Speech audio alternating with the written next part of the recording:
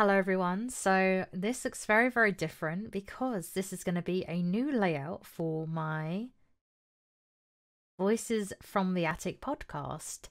So as well as doing podcasts this year, I'm also going to do video podcasts with this kind of background. And I'm going to kind of talk about subjects and then you can kind of see my reaction stuff and when I talk about them and everything. So if you haven't already, please do check out um, Voices from the Attic podcast. You can find it on Spotify, iTunes, Anchor, Stitcher, basically everywhere that does podcasts. I'm going to leave some links below. And uh, if you haven't heard the episodes already, they are also, some of them I left on the channel from a few years back under the name Spirit and Lore. Anyway, this is just an update video. I hope everyone is already having a good, happy new year 2021. There's going to be a lot more spooky true crime on this video.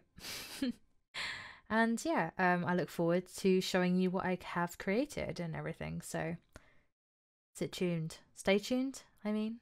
And when I'm not here, I am at twitch.tv slash wolfieelore you can find me there uh, three times a week, most likely.